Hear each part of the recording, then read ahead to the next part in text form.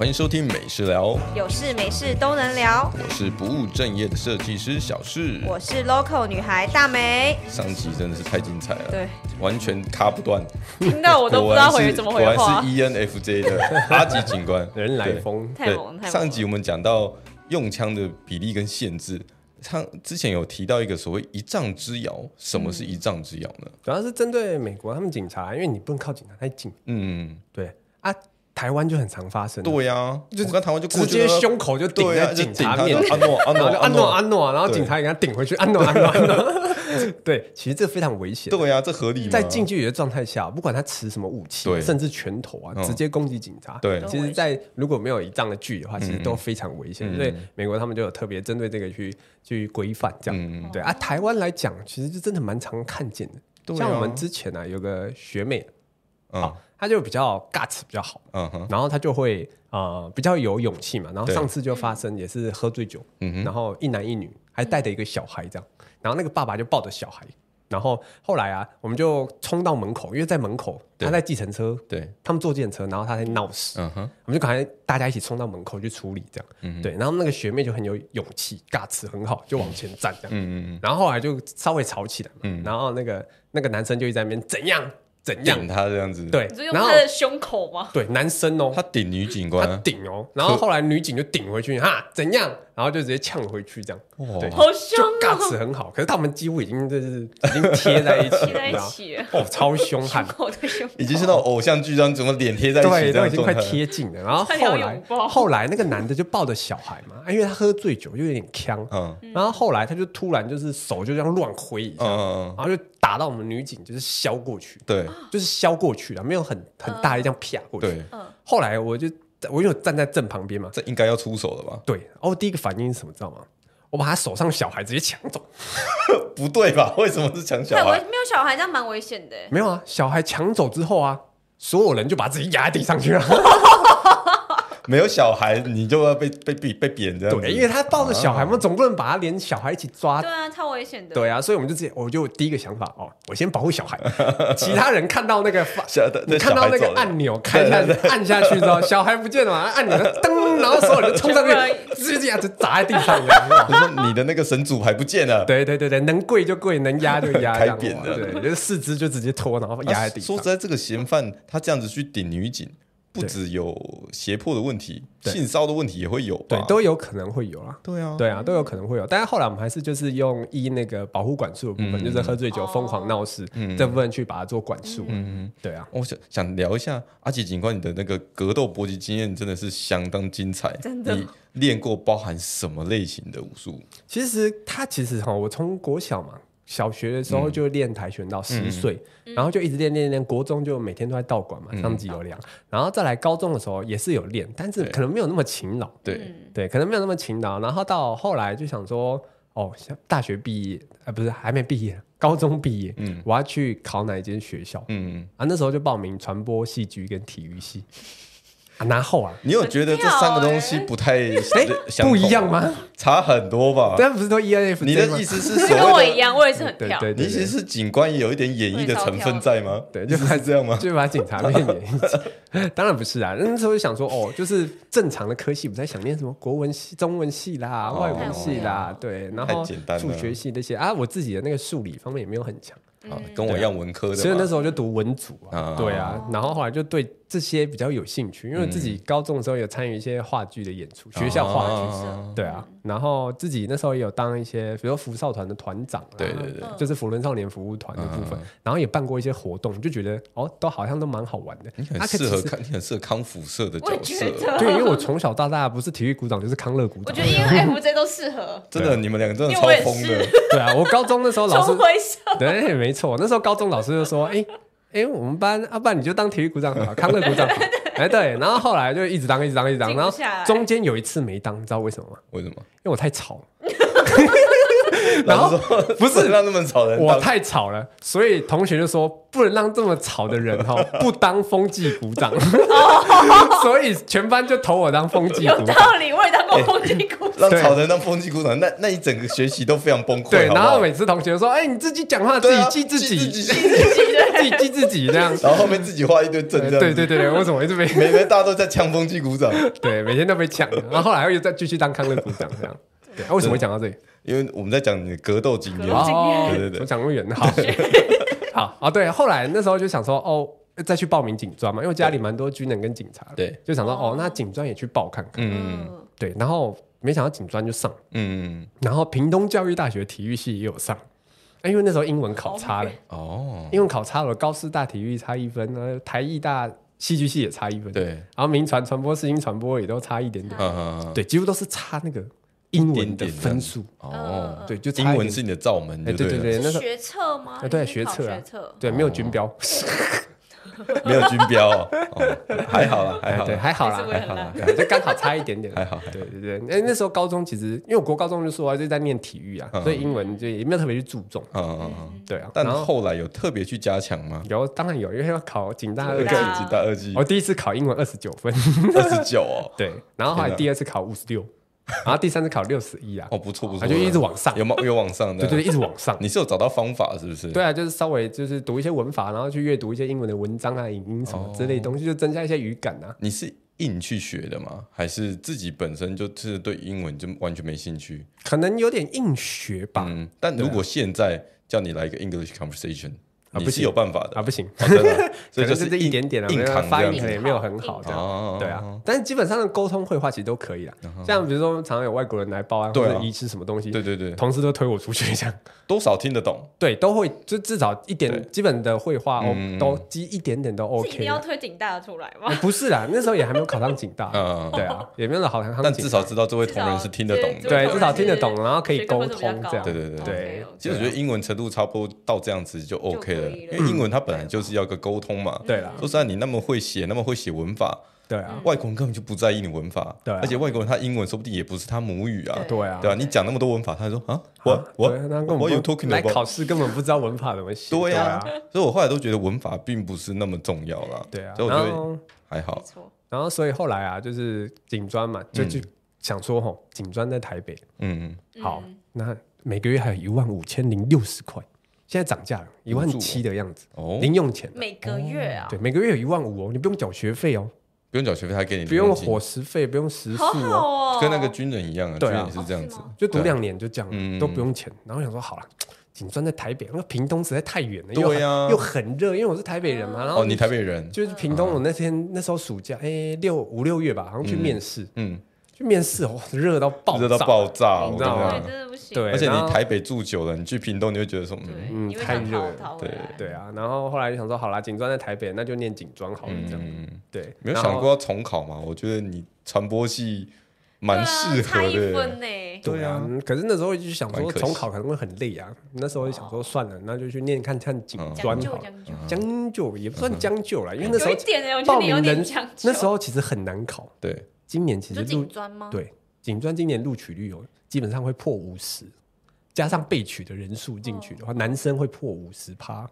五十趴，你的意思是说两个就一个对，行政科的话，哦，对，因为今年今年吗报名人数好像大概呃四千还五千左右，但是录取快一半，哦，那这样好考，对，会变得比较好考。哦是哦对，然后我们当年是一万三千人报名，嗯。然后录取大概一千多个这样。哇嗯，对啊，所以录取率大概接近十趴，哦十趴多一点，对，嗯差很多。的而且就像刚刚讲，呃，上一集有讲到嘛，就是警察现在其实没有那么好说是铁饭碗，嗯，对。啊，因为年改啊，然后跟这些制度的修改，对，对。啊然后就变成呃，大家可能不想要当警察，想要去往科技业发展，嗯，确实。对，像像像然后那时候就去读警专嘛，对，那警专就会学柔道啊，嗯。对，然后就开始对哎另外一种格斗技产生兴趣嗯，嗯。跆拳道嘛，然后再来就柔道，嗯嗯。然后毕业之后就想说，哎，可不可以开拳馆？因为那时候还蛮盛行，到现在更夯了。对不对？现在台湾更多了的拳击金牌林玉婷，对，带入一下，那我想知道，你练了这么多种不同的格斗的时呃之间，拳击还有散打对他们到底这些部分有什么的的差异？因为说实在，一般人没有很了解。你有看过全林玉婷吼嗯，嗯。在踢人吗？对，没有没有没有没有，对不对？对，拳击基本上只有手。只有，拳头可以用。OK，不会有头锤，对，不会有肘击，嗯。不会有膝击，不会有踢击，所以拳击只有手。哦，OK，他只就跟踢能规定一足球走的方式这样。踢足球用哪里踢？都可以，只要不是手，对，只要不是手，它是不是手的运动，头、手、脚、身体任何一个所有地部位都方都可以踢。对，所以每一种比赛的规则都不太一样。嗯。OK，然后再来散打，就是有踢、打，甚至摔。哦，OK，再来柔道的话，但散打有包含请技吗？哎，没有，没有，对哦，对，什么是包含打摔那潜技呢？请技就是柔道、柔术 OK 就是包括请技的部分，嗯。这样。对啊，啊，还有自由搏击，对，自由搏击就是基本上就是拳啊、膝跟腿。嗯，嗯 OK，这边基本上这个逻辑没有轴的部分。哦，对啊，限制这么多种类型，对限制很多。再来就是泰拳，哦，泰拳。大家说很凶残，对，肘击，因为其实肘削削到脸哦，你的脸是会直接爆开的，对啊。会直接裂一痕要去缝的那种，哇鼻子这样敲到，其实整个鼻骨会歪掉。肘啊是人体最硬的地方，对啊，肘击下去真的很可怕，，对，所以我们肘有很多种啊，平肘、杂肘、挑肘、转身肘都有，太多太多，太多没办种。我没办法理解，对，没关系，对啊，变化很多了，对对对对，所以每一种格斗技，它如果全部综合在一起，OK 就可以叫综合格斗了。哦，是这样子对啊，啊，啊，柔道基本上就是只有摔啦，嗯跟关节技，然后还有请技的部分，这样。嗯，那你这样这些格斗经验对于执勤是不是你觉得有实质上的帮助呢？蛮蛮有帮助，蛮有帮助的，对，因为你比较知道怎么去把人家重心放倒在地上，哦。对，然后甚至遇到危险的时候，你比较知道怎么去控制安全距离，因为我们的步伐其实很快，嗯对啊，从小是练跆拳嘛，对。跆拳就是要控制控制你跟他的距离，对，而且跆拳的距离更远，嗯，嗯，它是脚的距离，我们是脚的距，离，拳击是手的距离。对。通常拳击比赛它是保持一只半的手臂。嗯嗯，OK，这个距离大概是他们的比较舒适的距离。对。跆拳的话是一只半的脚，一字半的脚，所以综合格斗，综合格斗基本上也是一字半的脚去控制那个距离。对啊，加上跆拳道比较多花比较多花式动作，嗯可能会垫步啊，什么三百六旋踢有的没的，对对对对。所以有时候会拉更远，哦，所以我们控制距离的时候就更好去控制。嗯，对啊，人家要冲进来，你就哎稍微踹他一下，他就飞走了。对啊，难怪，那对执对于执行上，你很常用到这些东西吗？蛮长的。像我之前就是抓那个，我抓过蛮多种，嗯。啊，先一个一个讲好了。来，抓过那个一个外籍移工，菲律宾的，嗯，超壮，有没有超壮？我大概九十公斤，蛮重的，九十公斤哦，然后大概一百七左右，嗯嗯，九十公斤一百有七，点肥胖，蛮壮。不是肥胖，我觉得那个是壮哦。精壮，那个是精壮、然后那时候就半呃大概十二点左右，然后就去在我们辖区嘛，就诶看到一个人这样走过去，怪怪的，就是情迹可疑，这样转来转去，然后我们就一靠过去，他就一直想要走，他就一直想要走，然后就一直拦着，哎、等一下等一下，怎么了？怎么怎么怎么了？他就他就不讲话嘛，然后就一直想要走掉。我说等一下等一下，然后他就突然就是手就开始挣扎，对，然后我就直接这样扣住他头，这样就可以扣住他头，对，就直接手就顺势从脖子后面直接这样扣住他头。嗯 OK，扣住之后我就没有放开了。对，OK，然后同事哦，同事就往这边喷辣椒水，好险哦！我的口罩跟安全帽对啊，都戴着，好不险，直接喷到你，不然我一定会中。你也只这么流泪这样，对，所以我就这样一直压，一直锁着它。我从它到底就没有放开过，然后锁锁锁锁，然后一直锁到地上这样，然后它就自它就挣脱不了。嗯嗯，对啊，因为它脖子比较粗嘛，所以锁的刚好锁的很紧，对，锁在这个位置啊。如果脖子可能比较细，可能比较容易跑掉，对，有可能、嗯嗯对。然后后来啊，我们就回去嘛，他辣椒水喷到，嗯，超级辣。连手都会觉得你以辣吗为皮肤不会吗？我们那时候回去，我辣了六个小时，哇塞，真假的？到睡前洗完澡，我想说还是觉得辣辣的还在辣，你知道吗燃？烧后来我们就想说，要到底是热敷、冰敷，还是喷酒精，还是干嘛都没有没用用吧没有用应该。没效我果，同事他说他干嘛？他跑去泡牛奶，泡牛奶 我就知他道还泡牛奶，你知道吗？就他说好像还真的有点应该用有效，因为它会温和的那个对效果这样，对所以我就像你辣涂辣椒膏一样啊。哦，你说那个燃烧脂肪的辣椒 一模一样，一模一样。对啊但你这样子扣着他的头的时候，他真的是完全没办法反击的状态吗？对啊，没办法，他可能就是推啊挣扎，但因为他没有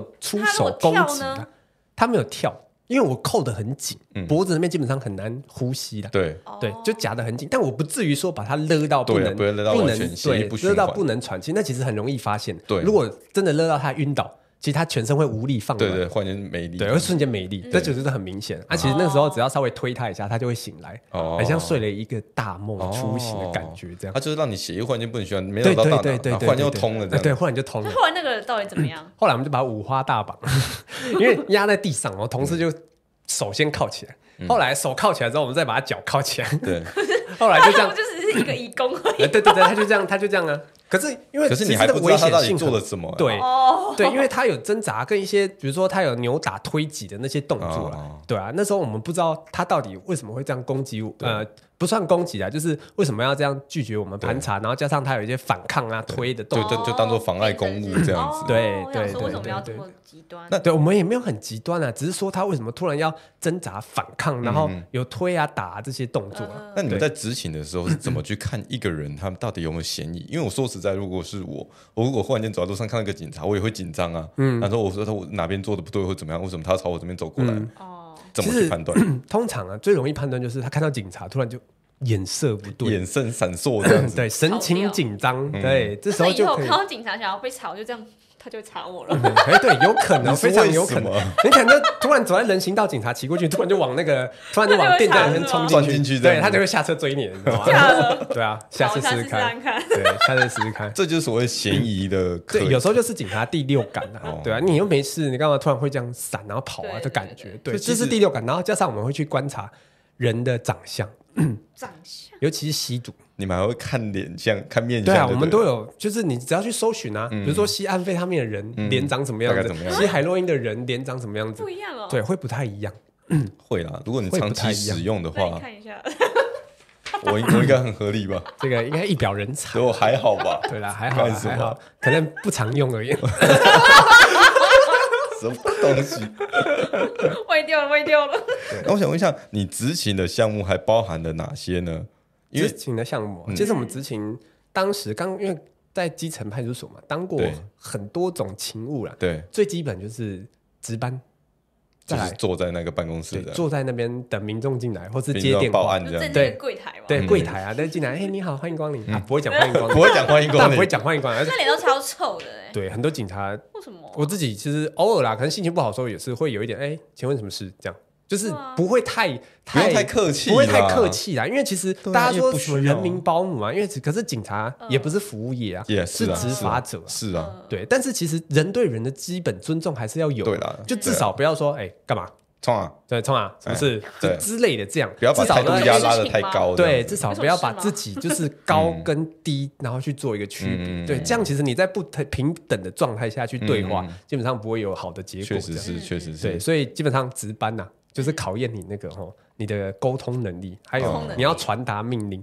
啊有人家报案，嗯。或者民众打来报案，也是你要接电话嘛。对。啊，接电话你要跟人家讲解释啊，对对对对怎么发生什么状况啊。对。对对，嗯对啊，然后好，民众报完案，你可能就要是要通知线上的远警去处理现场啊。嗯嗯嗯，对啊，这时候也要通知远警啊，就是常常发生值班的远警跟巡逻的远警吵架吵架，哦对啊，常常会有啊，或是可能他把值班台做爆了，怎样做爆？做爆就是你懂我意思吗？你就说案件量爆案件暴增然后巡逻的就会很烦躁，你说那个人太旺，对，那个人太旺，所以为什么说 为什么什么警察啦，或是那个护理师啊，嗯。就是值班台啊，都会放乖乖，呃，消防局也是啊，会放乖乖，就是放在电话上面。对，放在电话上面，对，可能会放一排啊，甚至放一圈。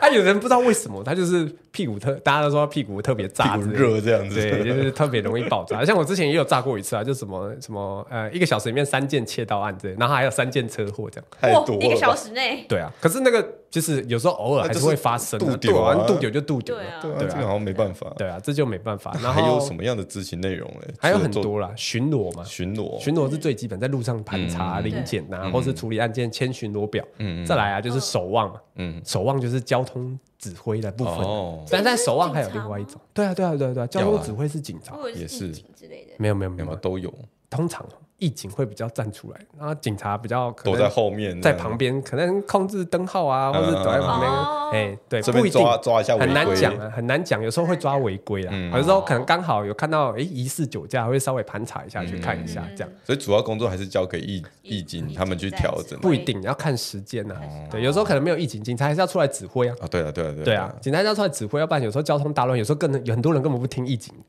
的指挥，真的会吗？有些人真的不会听，是哦。因为警察站出来会不太一样，会啊会啊，对，会不太一样。看到荷枪实弹你的，自己会是不就是是我会觉得他是不是是这个意境，你怎么 真的我会看这样。人。低耶？我没有看人丢之前，真是的哦，哦对啊。他不警察，他不会开，他不会开你单，对对对对，哇，好，我红灯右转一下没插，是吧然？后警察就在后面等你，警察就在旁边，刚好他们是配合。好，对，配合好的。前面先演，后面抓你这样子，对。对，超笨。然后再来还有比如说零检，嗯。扩大零检为主，哦，对啊，就可能有每个月或是一个月例行一两次的那种，对。那就是大家联合起来，派出所联合起来啊，嗯。然后去分局开会，然后执行扩大零检，OK，就去 KTV 啊、啊夜店啊、哦。酒店呐嗯哼那种啊，就会看到一阵仗的大票警察对。进来，对，就是那个时候。那个那个我听人家讲都是说什么保护费缴的不够啊，或者什么才会忽然间一群人这样冲进去。其实现在应该比较少这种比较少了哈。对很少见我自己也没吧接触到到底有什么保护费的东西啊，那个也不知道几十年前，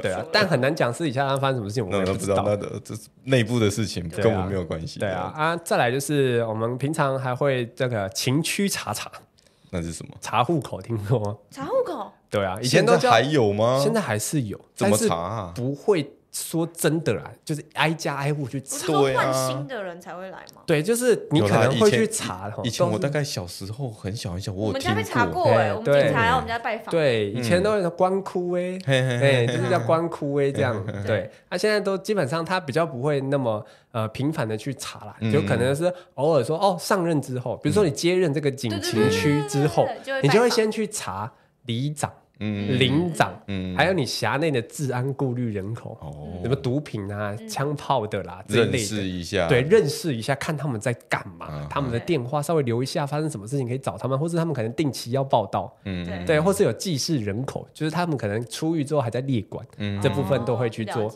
了解。嗯。啊，一般的其实就还好，可能就是社区的保全啊、嗯总干事这种，稍微了解一下发生什么状况，随时可以通知你。嗯嗯就去稍微把诺啊，获取一些信任啊。发生比如说哦，常常有人吸毒，嗯嗯他就可以赶快通知你说这边可能有人吸毒。像我以前，哦我以前管一个社区哦，对，里面不知道有没有不知道有没有一千户，嗯，嚯、那个社区每每个月几乎都发生过一些案件，毒品案哦，哎，要么就毒品，要么就是那个赌博啦。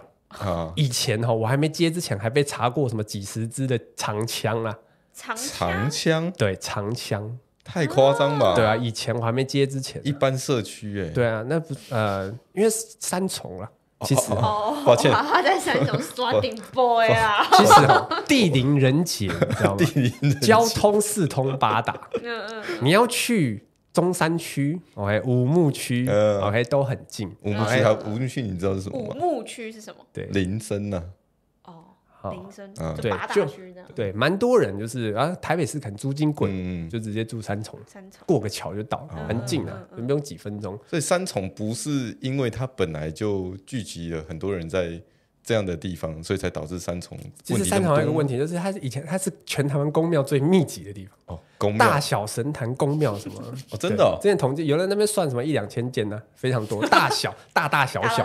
对，庙。很多啦。对啊，啊，其实呃，在这个制度，因为以前很多三重是云林啊，什么嘉义那边对。来哦。工作，对，对。工作可能台北市太贵嘛，他们就嗯。住三重，嗯，这样样对，然后就开始落地生根，然后这开枝散叶，久而久之，久而久，之，可能就是哎传承一些习俗下来，所以为什么常常说什么三重泸州八家角很多啊，就是这个原因造成的。哦但其实其实文化没有不好，嗯，重点是谁让那个文化变对啊，谁让文化变得大家变质的感觉。对啊，因为其实公庙文化我不觉得它有问题啦而是在执行的这些人对。为什么要这样子做？对，就像啊，常常有绕境，对，一定会有绕境，嗯，每个都修趴，哎，修趴喝啤酒，对还，抽烟不戴安全帽就就一大堆啊。嗯每次绕境的时候都一大堆啊。对啊，还在那边骑着车，然后抽着烟，然后不戴安全帽，这样在那边骑。对对啊，我们都要收整啊，收整可能回去还要开单什么的。真的会抓这个吗？对还是这个应该抓不胜抓了吧？对啊，因为其实真的太多了，但还是会收整起来。然后呃，如果有呃有开单的必要，还是会去做开单啊。嗯对啊，要不然真的一大堆啊。说真的，那个公庙如果绕进那个长一点的话，嗯，那个真的整条都是啊。对啊，我我我三重我不知道啦，但我知道我们家那边，因为我是大甲来的，啊那个更更厉害哦那个更厉害，更厉害，那真的是不知道该怎么抓起。对对对啊，我想说三重应该也是一个蛮蛮厉害的地方。对啊，绕进处理不完。那我想知道你的值钱的部分有没有包含护送重要长官这个事情？哦，那叫特种勤务啦。那是什么一定有啦东？西啊？就像三重，我刚刚说了，三重就是四通八达，嗯对不对？所以啊，都会经过嗯。快速道路了。对。对，要不然就是来三重，比如说一些宫庙去做拜访。对对对对。啊哦，然后就是对，像过年春节常常来，我们那个义天宫常常那个总统、对对对副总统然后每次过年那个大年初一就来拜拜，嗯所以大家就要全部出动，对。可能还要停休。他只要过年来哦，还要停休，你如果放第一梯的人，第一梯就是可能除夕夜前两天，加上除夕跟大年初一这样，对，呃，第一梯的人全部还要停休回来，OK，回来上班哦。好累哦。对，所以大家都说说，大家会常常讲啊，拜托啊，他们不要那个过年的时候去拜拜走公庙行程。一定会走了，好不好？对啊，可是一定会走啊。对啊对啊，可是有时候还是得到底为什么为什么要叫警察去做这件事情？因为你要执勤，就是保护现场安全，加上交通的那个哦疏导。哦，对，因为那个其实万一真的发生什么事情，那谁担得起？啊？没人担得起啊。对啊。确实是啊。加上如果哈，他们通常总统身边有国安局嘛，或者一些保六总队的一些警察、特勤人员。嘛，嗯。可是人数一定不够啊。嗯嗯嗯，哦。啊，你地方又是地方比较熟嘛，对，所以地方才会去做安特勤的路线安排啊。哦。然后他的，比如说他到场之后车子要停哪里啊，然后我们要怎么去疏导啊，哪边路口要挡，哪边要开红灯，哪边要开绿灯什么的，要去做阻挡啊。也怕有民众很多抗议民众嘛，可能会冲出来，我们可能就要事先去掌握说，嗯。哎，谁会来抗议啊，还是什么哦，先驻控一下。调查好了，地方地方远景先负责第一线这样子对。啊，对对啊，所以才会有这种状况，就是警察要去执行特种勤务保护这些首长嘛。那这样子，当警察的人 EQ 是不是都要很高呢？对啊因，为常常会有民众啊报案啊，或是他遇到很多纠纷的部分，嗯，因为真的会吸收到很多负能量的部分。那请问你们警察都怎么排解这件事情呢？对我来说，其实我自己没有太多负能量。我觉得你一定没有，因为你是 E ENFJ，而且他 EQ 也很有时候会，觉得吼，你唯一的负能量就是把场面炒得太热了。对 有时候太嗨了，受不了我，我觉，得会其他人讲说你可以冷静一下吗？没有继续嗨问题这样。因为常常上一些通告节目嘛，然后还自己 Q 流程的，之前还被虞美人骂过，哎 一定的吧？然后我们不是这样子走不是的，骂啦，他是说说什么哦，你还会自己 Q 流程啊？我说那不是这样走的，这样子。这没有骂啦，就是刚好就顺着流程走。OK，OK，OK 对啊，那你你自己本身 EQ 算高的吗？我觉得我蛮高的啊，就是就是遇到事情，比如说好民众在吵架，你嗯肯定要用你的脑袋去处理这件事情，不是用你的情绪去处理这件事情，对。啊，对不对？如果你没有脑袋，你只有情绪的话，那事情只会越演越烈。而且有些时候你在发生争执的时候，讲理其实有时候并不是一件很好的事情。你该先做的事情是先缓和大家的情绪，嗯，大家情绪上来的时候，没有人要讲理啦。对对，我就是想跟你吵，对因为我最近啊，因为我是室内设计师，哦，我们在装修，在敲墙壁哎，我最近也要装，你也要装是不是？我们下下播之后再来谈。我们先聊那件事情，因为我们在打打墙壁嘛，打打墙壁一定很吵。对啊，整栋楼，因为它的是大楼，全部连接在一起，嗯一打，咣共振效应。然后隔壁那一个跑出来骂，隔壁那个他是白天要睡觉，晚上要工作的人。哦我一听我就觉得说，那你应该是做博弈类型相关的东西这样子。嗯然后我觉得他可能那一阵子也做的不是很好，或怎么样，一来就臭干人胶，嗯就是你娘，然后就开始一直骂这样子。这么贵掉吗？对对对对，然后我其实那时候也有点火了，我就想说，你不要跟我骂这个东西哦。哦，我就觉得说，你到底现在这时间来骂跟我骂这些东西，他说什么？你白天这样工作，还要不要让人家睡觉？然后我就跟他，完全无理，我就想说啊，我不白天做，难道我晚上做吗？就是我这样解释给他听，他完全听不进去，嗯。因为他就是很气。嗯，对，后来是我请业主来，业主是一个女生，然后她比较能够去 hold 住缓和。她的情绪，因为女生比较柔和嘛，和对，不像我们这样子。对，那你们这样的状况的时候，会不会有时候派女警。上去会不会比较好？你们有时候这样状况？很难讲，真的，有的报案人，尤其火气大的，嗯，嗯。不会把女警放在眼里。哦，有些人真的是这样，是，那甚至要叫我们什么派出所主管来，主管有这个人，很常这样啊，就是所长啊、副所我长，就是他，他很像去餐厅一样，是吧？对，叫你们经理出来。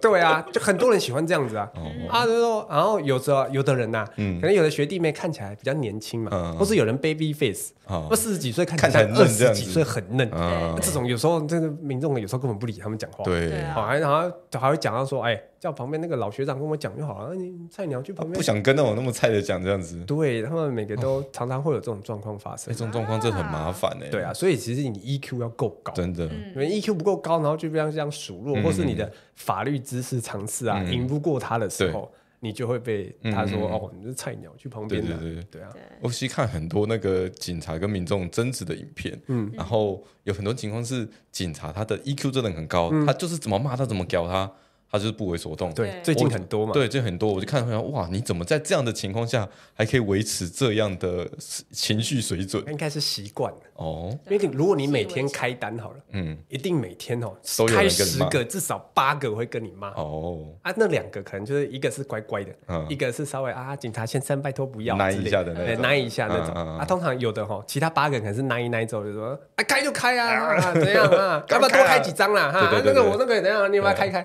更小就发现更小灯哎，更小灯出去，哎。然后到时候变十张罚单。最近就有一个，哦，对，我看到一长条对对，一长条，对对对。就一直骂，对啊哦，有时候反而自己造成自己麻烦。对啊，因为你其实你的机车啦，其实有很多违规状况可以去抓。嗯啊，比如说你的灯坏掉了，嗯。比如说你呢有一些小改装啊，比如说你后照镜没有装啊，对，对啊，比如说你那个那个方向灯啊不会亮啊，都有可能可以去抓很多小东西都可以很多小东西都可以去抓只是看他要不要做。看要不要而已。对。对啊，那这对于民众的这样恶言相向，怎么样保持理智？你自己本身我自己哦念佛经，啊不会啦，我就会顺着他的顺着他的意思啦，或是稍微不理他一下。哦，就让他去骂没关系，先冷处理，其实是最好的方式，因为其实他根本自己自己一个人也吵不起来嘛。哦，也是一个巴掌拍不响。对啊，对你就不要附和他嘛。对对对，他对屌他，你就当做没有听见。对啊，然后就把你。该做的事情做完啊，你要不要签？嗯，大家常会说你要不要签名签收？对啊，你不签的话，我就寄给你。这样对，对，然后基本上啊，他不签就算了，就走嗯。就走掉啊。对啊，就不我也要顺着他的方向去。对啊，样子。我也遇过，他签完之后他直接撕掉啊，他可以撕，可以啊，对那他的，啊那是的那是他的啊，对啊，他就直接撕撕掉啊哦。啊，对啊，啊，然后就很生气就走掉，我也不理他了。对。啊，你要撕你的事嘛，反正他到时候也是被记点啊，然后到时候因为其实很多啦，我们遇过那个罚单欠缴啊，三百多张哦，对，啊，哇塞，啊，名下没有财产啊，哦，你要强制执行。无执行。法执行。啊，，他也没有去那种有劳保什么公保上班的地方都没有。啊，对啊，所以也扣不到他薪水啊，哦，所以那种就真的拿他弄就是有点烂命一条没差那种，天哪！对啊，那你遇到如果会奶的这样的状况，你们警察真的有时候会当做睁一只眼闭一只眼吗？对有时候很难讲。通常啊，会睁一只眼闭一只眼是比较老人家啦，哦，老人吃这一套这样子，对啊，因为其实有的有的老人家可能刚刚可能视力没有很好啊，嗯，对，可能稍微违规一下，稍微比如说能在劝导的范围内对对对可以做劝导，对。但是不能劝导了，基本上还是要开单啊，不然会开。不然会违，我们自己会违对啊，法因。为你们有密录器嘛，对。对啊，因为本身如果今天已经录到了，对他好像不能放他一马的状况，还是要看他得状况开这样子，对啊，对，因为有有我有自己有遇到类似的情况啊，他们都最后执意要开是，可能很多其他民众都在旁边，对，对。对我已经把你拦下来了，嗯。我不开，哦。那是不是其他民众就会来抗议说，哎对，我为什么？那个远景图利他？对呀那个叫刑法上图利罪对。啊，那这就是他的他的问题，所以对啊我也能理解。对啊。对啊，我是是有有些人会觉得说啊，这警察怎么都不会网开一面啊，对啊。不不人性化因为。现在法律也没有说真的保护警察，你说真的啦，啊。真的变图利罪，那个罪很重。对啊，真的哦，对啊，对啊，你说不要开啊，万一万一变成图利罪，那个、嗯那个你要帮我扛吗？对啊，对啊，你有可能就是就直接被被迫离职，嗯嗯嗯嗯嗯，对啊，有可能还要去关，就很麻烦。哇塞，对啊，当警察然后被关呢，很对啊，你不要那个该做的工作没有做到，结果搞到火烧到自己身上这样，子。所以公亲变世俗。确实确实。那我想问一下，你执行的时候有遇过很多奇怪的事件，但有没有遇过灵异事件呢？灵异事件呢、有没有你听了会觉得毛毛的？之前遇过一个比较听说而已啦。嗯。我自己本身。嗯，哦，可能狮子座 又比较外向，有 E ENFJ 啊，可能自己就觉得哦，不太信那那那一套东西。OK，但之前就听过一个故事啊，嗯就是就是我们那边辖区就发生一个车祸，对。一个女生啊，对，她就准备要从中央分隔岛上过马路，嗯嗯。啊，基本上不行嘛，中央分隔岛，然后跳过马路对，然后喝醉酒嗯。跳下来，一台车刚好这样撞过去哦，哼，OK，就这样哦。那车速车子车速很快，嗯。嗯，直接拖着他了哈，嗯，沿路大概五十公尺才停下来。他没发现，他有发现啊，可是来不及停不刹车下来不及下来，刹速度下来，太快。对啊，快的。对，然后就后来我们同事到现场，我就发现哇，那个整个血地板迹斑斑的。血迹斑斑，然后脏器什么全部掉在路上。我还没我还没吃晚餐，我天哪！好饿 继续后再来。来就听说啦，后来就有一个去拍照的见识的学长嘛，然后就去拍照，对，然后现场啊，他就现场要拍完之后回去哦检查的时候，发现照片嗯，全部都是白色的。拍不到东西，现场他有确认过，嗯，他有确认过那个照片啊，是有拍到，是有拍到，就后来回去之后发现，全照片都是白色的。靠。后来哦，他晚上还做梦，嗯，本来想说要怎么处理嘛，然后就晚上他在做梦的时候，就梦到那个女生，就觉得她有冤屈，需要被伸张，他来找他，他来找他，嗯，对嗯。他来找他，天哪，对啊，突然想这个，突然想一个声音，有点 怕。吓死人！那个电话他太闹铃突然你响知，道现在还是七月半吗？我知道啊，有点可怕。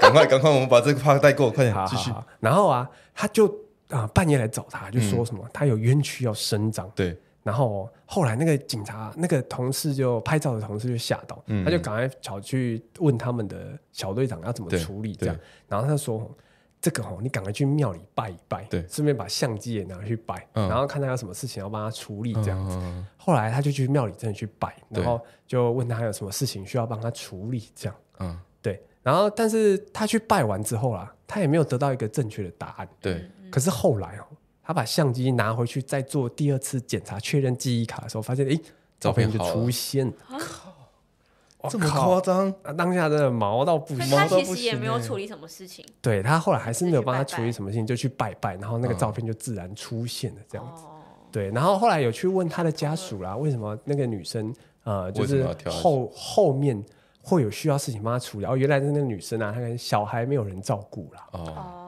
对，他的意还有一念还些挂念还在那挂念可能还留在那个现场，这样，嗯然后就侵入了那台相机，侵入了那台学长的梦里，这样。天哪！哦对所以你这也也就是说，你无法带入个人情感到你的案件之中嘛？因为有听说这个说法，你如果把个人的情感带入到案件之中，对，他可就是能会他现场啊，如果啊你有稍微心怀不轨的话，到现场没有跟他说，哎，不好意思啊，我就来帮你处理事情的。嗯嗯嗯对啊，后续的话，如果有什么呃状况的话，请不要责怪我之类就可能会稍微跟他讲一下嗯状况。真的会讲出来吗？不会啦，就可能讲在心里。啊，那个学长可能当天没有讲，或是忘记了，哦，对，还是稍微会稍微尊敬一下对方啊，对啊，也然后就不小心趁虚而入了。呃，对啊，七月半讲这个，我全身都毛起来，天啊？天啊！我赶快赶快跳过这一趴跳过。这一趴，跳过这一趴。我想介绍一下，最近我在 Netflix 上面看到一个影片，叫《地面师》，嗯它是一个日本的影片，风川月司风川月司主演。嗯然后它主要是在讲诈骗集团对利用人头假冒地主去卖地给买家去诈欺他。嗯嗯，像这样的诈欺案件，在台湾来说，诈欺案件真的也非常的猖獗。像我们大美之前也有被诈骗过，你被诈骗了什么？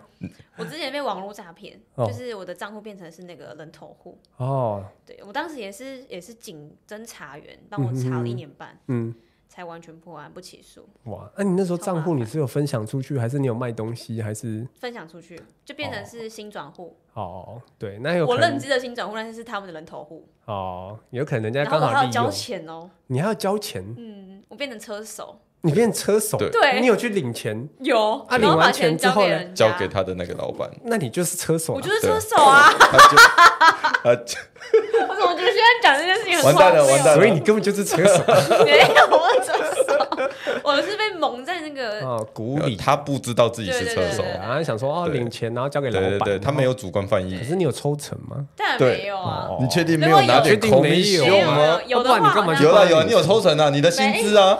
哦，一千五，一天一千五，好，那就是抽成。但是后来就就这样讲过之后，法官就判定就是我不知情，就判你不知情就对了就。不起诉。哦，其实当时搞蛮久的哎这，种蛮多会起诉的、哦，现在来讲。真的哦。对啊，大家都要有这个正常的认知，你的账户不要随便交给别人，甚至交给别人之后，你不要用你的账户自己去领钱，嗯有可能这你会变诈骗集我这个案子后来会那么顺利，是真的是因为有一两个警官在帮忙，哦。就是去追查，像你刚冥冥之刚讲的那样子，去追查上面，我会找到上面的人。哦，找到上面的人，那像这样的诈骗案件层出不穷，到底嗯。呃我们应该怎么去防范它？很以警察的角度去来看去防范。说真的，很多种诈骗，现在各类型，尤其现在 AI 诈骗一直在换呢、嗯嗯嗯，电话，你只要录音哦，录个十秒钟，它就可以把你的模拟的声音出来。OK，你的人脸啊，只要你有一张照片，它可以把你的人脸直接 AI 到另外一个人脸上。对啊，对，然后甚至打一些视讯电话，或是打电话来跟你借钱，你根本听不出来那个人是谁。对对啊，而且现在盗账号啊，IG 嘛，然后每天都是收到讯息，哎，嗯在忙吗？啊、？OK，可不可以借我五万块？对。对，三万五万。但是。最普通的啦，因为最常见的就是这种，，对啊最常见这种，可是最好骗也是这种。对啊，确实啊。对，再来就是投资诈骗呐，哦投资票诈骗现在超夯的，对啊不知道为什么什么投一万块赚两万块，然后再哦你再投两万块，再赚十万块之类，然后最后你投五十万哦，全部没了，就庞庞氏骗局啊，就没了。对。啊，啊，现在很流行这个东西，对啊，因为大家都想要一步登天，没错。对啊，所以严格来说，诈骗就是不要贪，对。你一贪，你就是要被人家利用，你就被他抓到那个点这样子。对。上次像我上次上沈玉婷的节目嘛，嗯，贪念、色念还有淫念都不能有，都不能有。对，要不然你就很容易被诈骗。啊。为什么确色念、淫念、爱情诈骗也很常见？对。真的很多哎。对，啊，哎，脸脸书随便放一张很漂亮的妹妹露个胸部，然后加好友就开始聊起来，对。超多。我之前就处理到一个滴滴呀、嗯。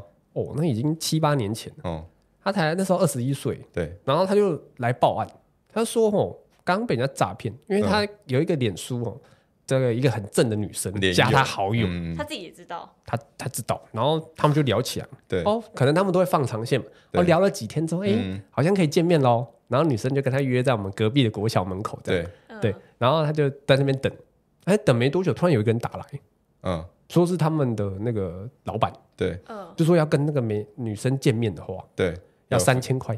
啊，对啊，保证金呐、就确定他不会把女生带走这样，他就信了哦。他就信了，因为女生还会在旁边继续传讯息嘛啊，对对啦，我们老板就打给你啊，拜托啦，然后继续传照片啊，嗯可能色诱他。嗯后来他就超商买点数三千，然后拍给人家嘛，那时候很流行买点数，对对对，拍给人家嘛。后来那为什么拍给他就没了？他也没有把他的序号都给他。有啊，他就拍序号，什么都拍给他。拍序号就啊，可以了。当然拍完就直接除了。哦，对啊，啊，对，然后三千再来，哎，三千老板就说，哎呦，三千块不够然后一直加码。后来另外一个人打来，嗯。自称吼那个某某帮派的嗯，豹哥，对对对，每次都豹哥，真的对，每次都说是豹哥，而且豹哥哦已经知道他家的电话，对。知道他家的地址。对，，OK，讲到地址哦，他直接吓到屁股尿流，一定的。吓死直了。接报案，对，没有报案，OK，还不报案？啊？豹豹哥说要十万块啊，后来他就再去，他就再把他的那个存款全部领出来，然后再去买点数，他买买发现不够，嗯，还差七万，我靠，结果他去哪里你知道吗？他把他机车哦拿去当铺当掉，马上。马上拿去当铺当掉，怕，真的很怕。他怕死的，怕到行动力超高哎。行动力超高，啊。真的马上拿去当铺直接当，嗯，当完之后他再去买七万块，后来还差一万，我我不觉得豹哥会放过他哎。对，豹哥就继续恐吓他，对啊就说有你家地址要去你家找你嘛，然后他就后来他就回去，他就不是他不是回去，他就后来就打电话，嗯因为他钱不够，要跟他哥借，哼，他哥在电话里面开始骂他，他说你是白痴你，这白痴哦，九万块可以去五牧区玩的，不不不不不不，他哥哥真的这样跟他讲。真假的？对他哥哥真的跟他这样讲，后来他就被他哥抓了，叫嗯。他哥就叫他直接先来报案，对。然后他哥后来也跑来，对。就跑来派出所，对，然后我们就一起骂他，为什么那个你会被那个照片骗？笨到不行。到底是怎样？对，那我们就一起通常遇到这种情况，他第一时间他就不应该要汇钱，当然了，对吧？对就无视他。其实你的个资哦早就满天飞了，对呀，早就满天电话，飞，早就不知道从哪里泄露出去没。错，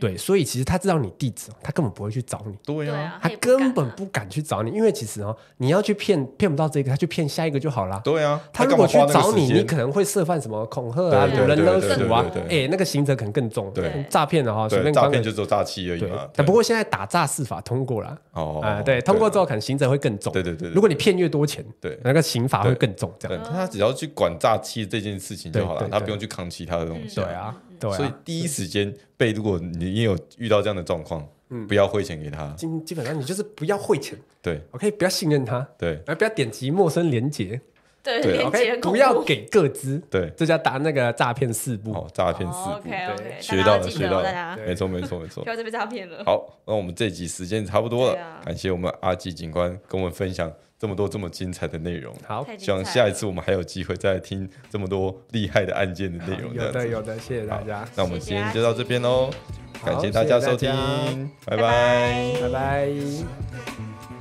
感谢收听我们的节目。如果你喜欢我们节目的话，请帮我们追踪按订阅哦。听完我们的节目之后，是不是更想知道我们的庐山真面目呢？请在 IG 上搜寻“美事聊”，就可以看到喽。拜拜。拜拜，顶起来。